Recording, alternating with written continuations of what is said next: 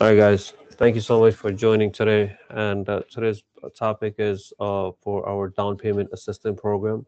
There's two different ones, one for New York City and one for New York State. We'll go over both of them and we'll tell you what the program does, who qualifies for it, and what are the requirements. And uh, to get started, I'm going to play this video first. You can receive up to $100,000 rewards to your first home uh, purchase. Right.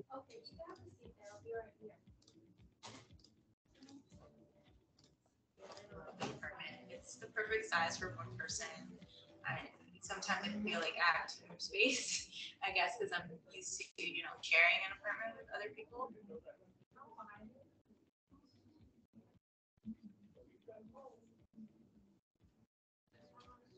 I always knew I needed uh, to save for a down payment, but I didn't really know where to go from there. I started to Google and I found first, and that's how I got into finding the resources that I needed to pursue my goal.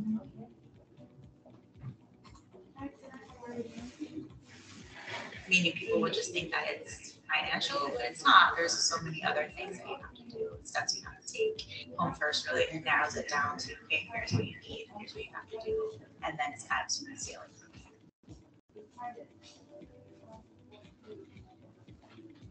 My parents immigrated from Dominican Republic. You know, they sacrificed a lot for me, and I always felt like, you know, well, there has to be something I can do that shows them, hey, thank you for all the sacrifice that you've gone through to help me succeed. And I think owning a place was always part of that.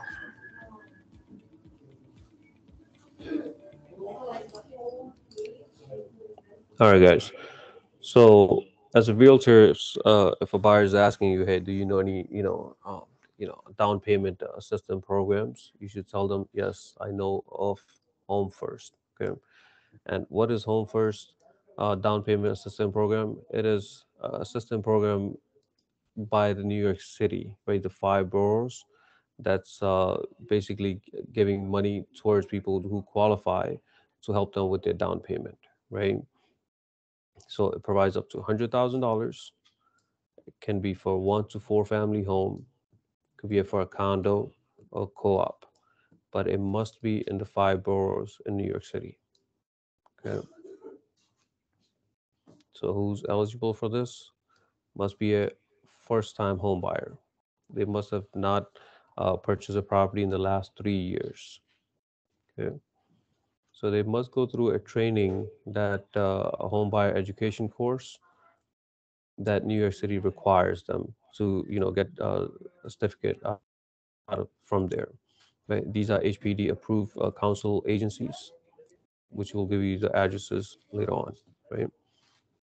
You must have your own savings, right, to put down uh, with your down payment as well. They'll assist you, but you still need some money from your side too.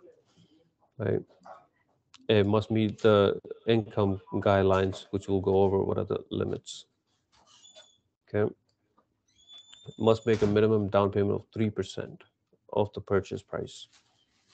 Okay. And 1% of the contract deposit must be sourced from the buyer's own funds. So they can take, they must have at least 1% uh, in their bank account from their, you know, own savings. Okay must purchase one through four uh, family unit, like we said, condo co-ops.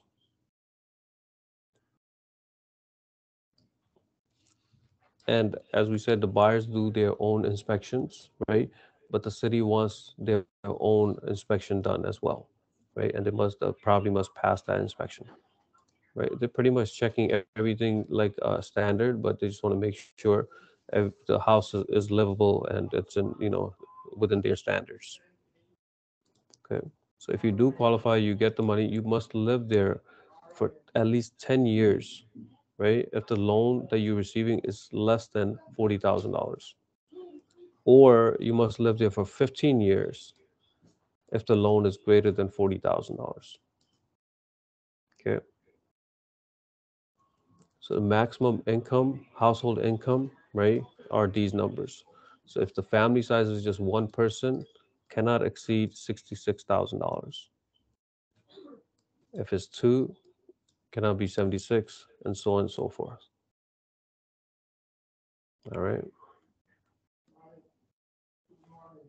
So the process is that uh, the home buyer must go through the counseling agency first, right? And these agencies are in every borough. So they're located in Bronx, Brooklyn,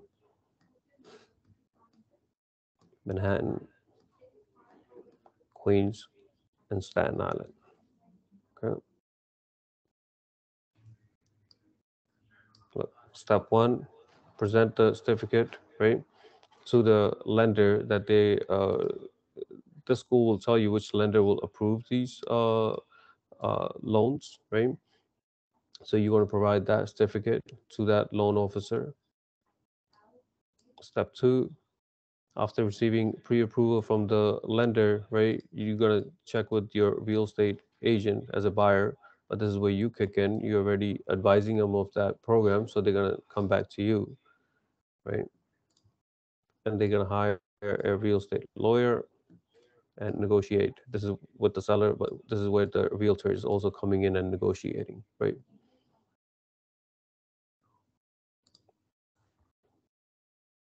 right? And these are the steps that we set. It's pretty much the same as purchasing a house, but they're involved now. So you can think of them as like a board, just like if you're purchasing a condo, like they want to make sure that you qualify, the property is good, and then they will give you that uh, those funds, right?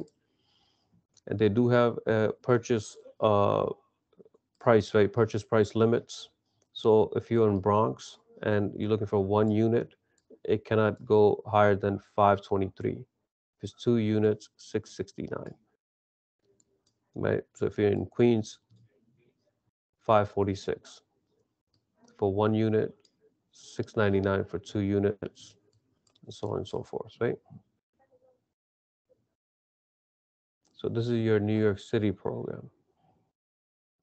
If you're in Long Island, right, or any other part of uh, the state, state has a program as well, right?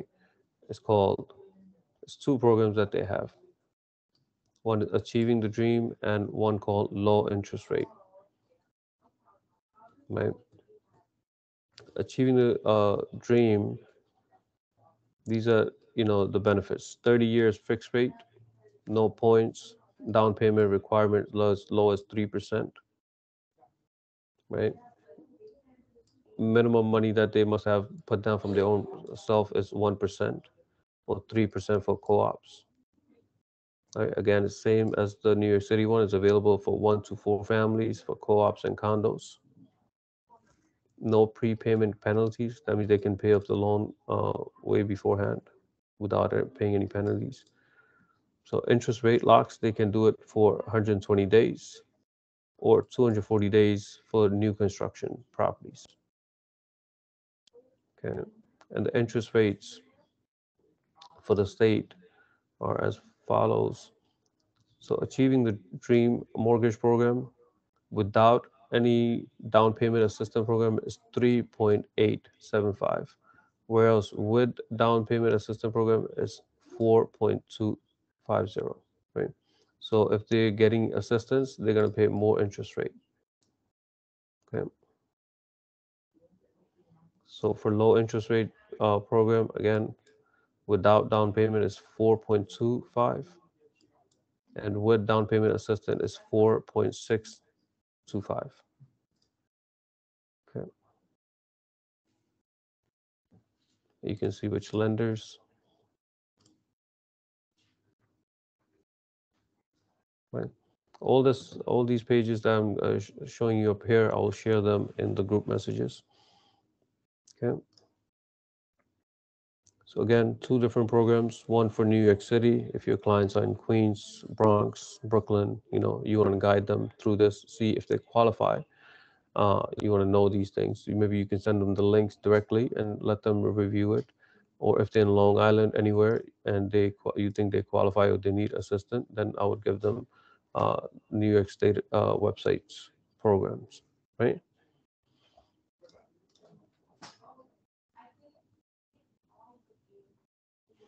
Right, guys, questions, concerns? Yeah, I have a question. Yes. Um, so what is it? Uh, when do they like?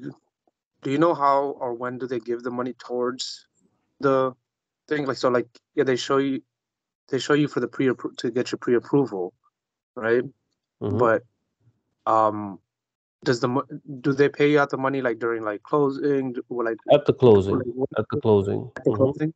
Like right here, Okay. look.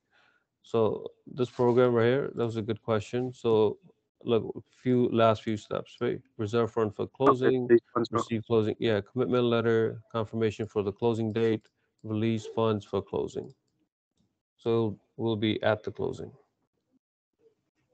And I said you have like the person has to live there for like about ten years, right? Yeah, ten years if they're getting a loan for less than forty thousand dollars, or if they're getting uh, assistance for less than forty thousand dollars, right here. Or Mhm. they must live there for fifteen years if the loan is greater than forty thousand dollars. So the greater than forty thousand, do you know what like does does it state anywhere if it says uh if it's greater you know if it's greater than forty thousand, like what's the max they can get? Hundred thousand. Hundred 100,000. thousand, yeah. Mm-hmm. Right. And I want to ask Mr. Ali and Diana, both of them uh, went through this program. So, Mr. Ali, you want to share your experience? How was that?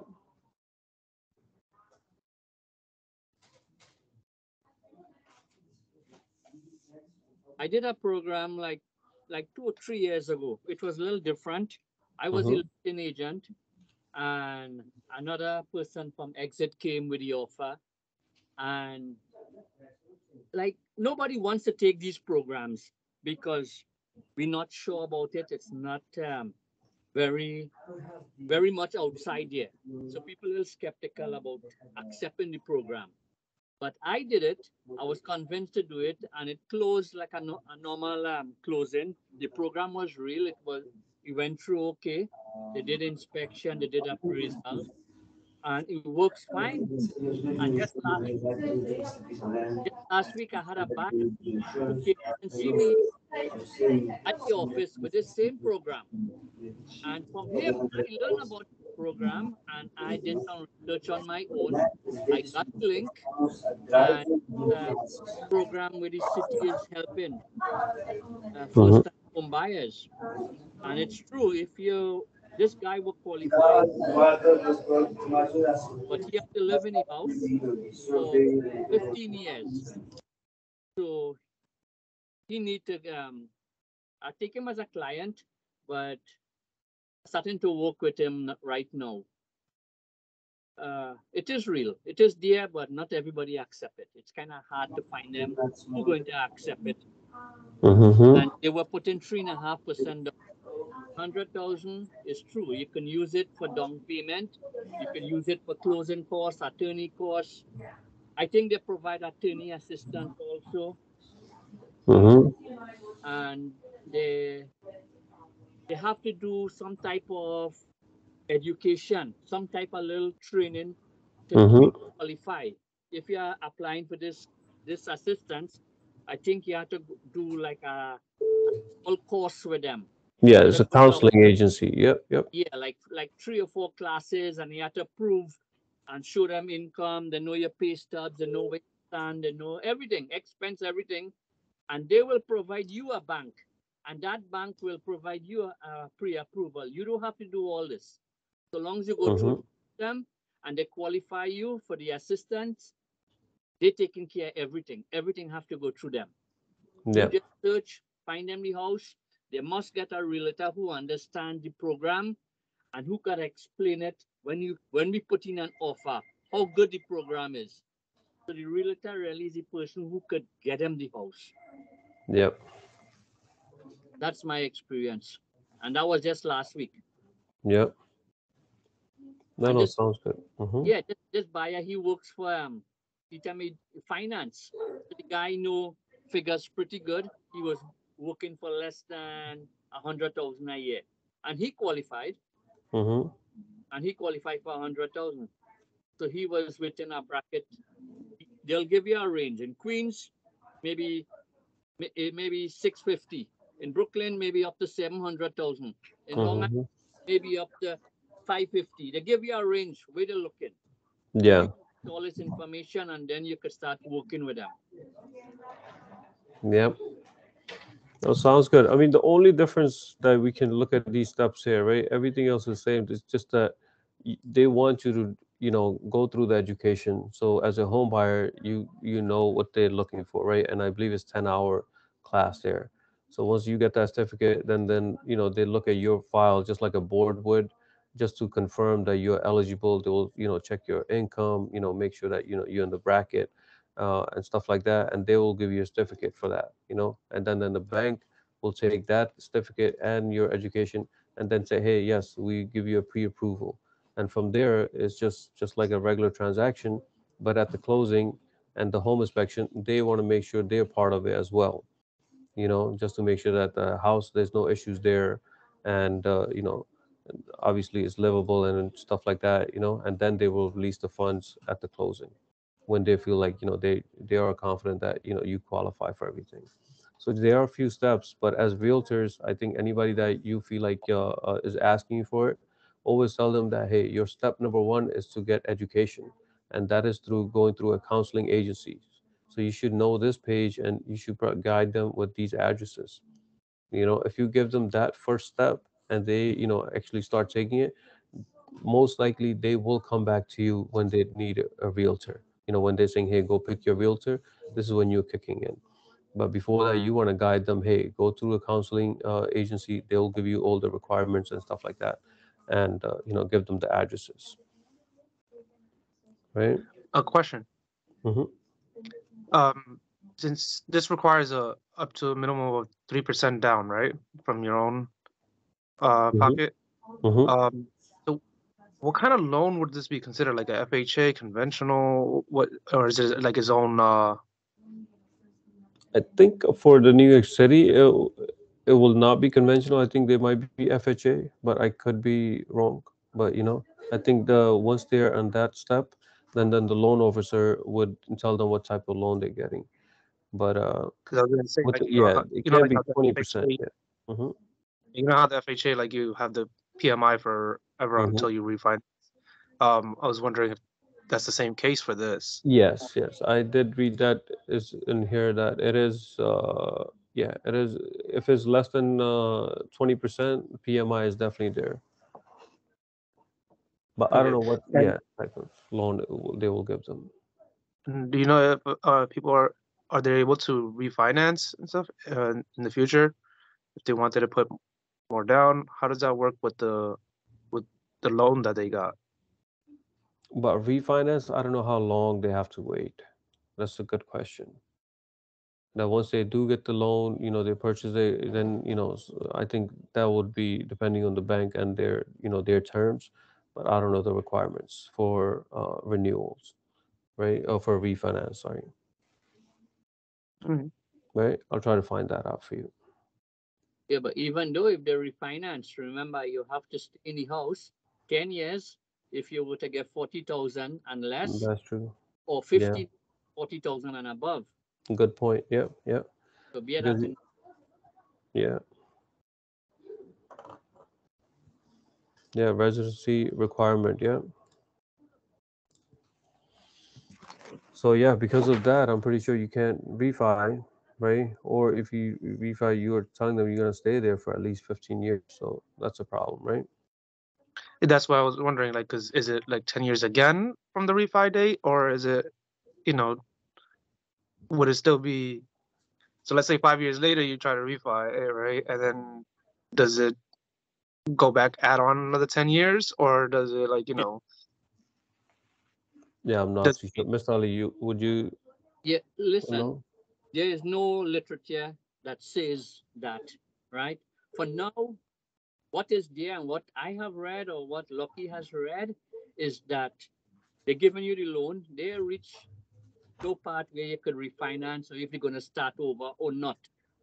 Um, if you if I have to take a educated guess, I say I will think it wouldn't start over. You have to stay 15 years regardless of what. If you want to sell after 15 years, you get that. You know, if you refinance or if you have cash money, you want to pay off the loan or something, I sure something like that could work. But for the people who don't have, the requirement is to stay 15 years before you sell.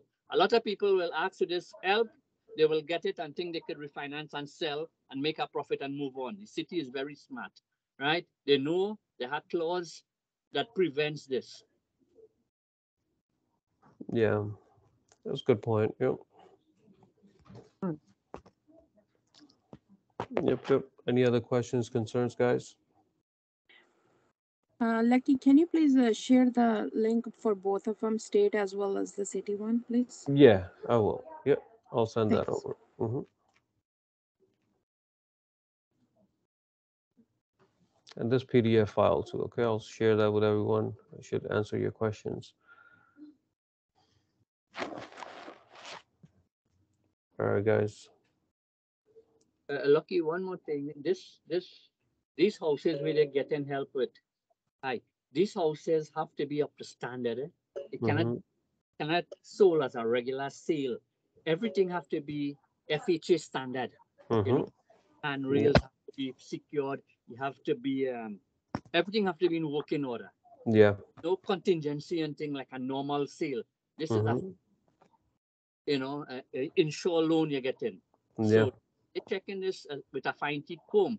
So if the seller knows about it or the seller agent know that you're going through a program, of course, he's gonna tell the seller, you know what? No, this is a this is a government loan. Everything have to be a hundred percent thing. So, you know, you have to be more educated in it when you're presenting your offer. correct. And uh, another point on that is like you cannot buy or sell to a family member. If that's the case, you do not qualify for that too. That's written somewhere too that you know you cannot buy from your family member, you know, uh, at all. So it has to be someone that you don't know.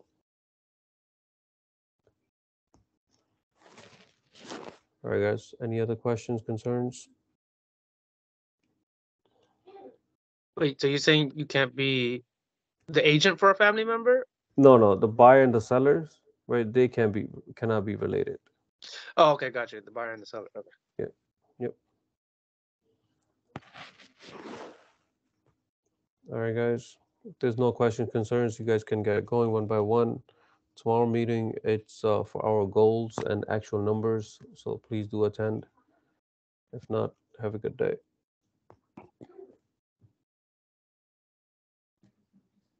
Good luck. All right, Thank you. all right. Thank you. You're welcome.